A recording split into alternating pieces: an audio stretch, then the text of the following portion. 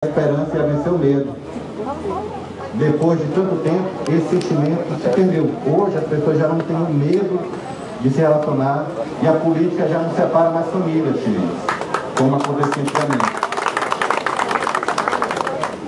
Quando a gente estava na FAI, aí eu vou lembrar aqui da professora Francisca, que está aqui presente hoje, e a Ana Célia, na época, era a nossa coordenadora de pedagogia, com muito orgulho, nós estive para a prefeitura.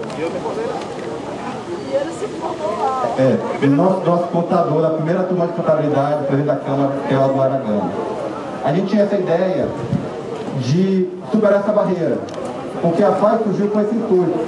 A FAI surgiu para trazer cursos que na época o EMA não tinha. A ideia era fazer uma faculdade federal, a faculdade do leste do Maranhão, e infelizmente o governo federal não aprovou.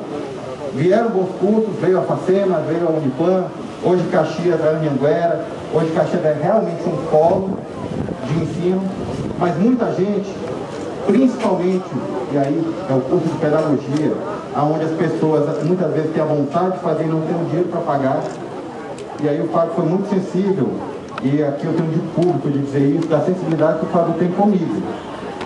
Semana passada, com o professor Edinaldo, nós entregamos para ele a primeira versão do projeto de incentivo fiscal para a instalação de novas empresas, viu, Expedito? Para melhorar a vida da indústria do comércio. E o Fábio sempre atende às reivindicações que a gente leva, ainda mais com relação ao bem da comunidade.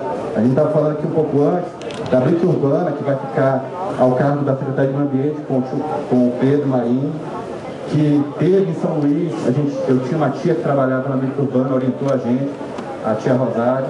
Então são ações não visando o político, nós nos elegemos para trabalhar pelo povo, para o povo, pela população, não para a política. Nós derrotamos todo o sistema político para chegar aqui.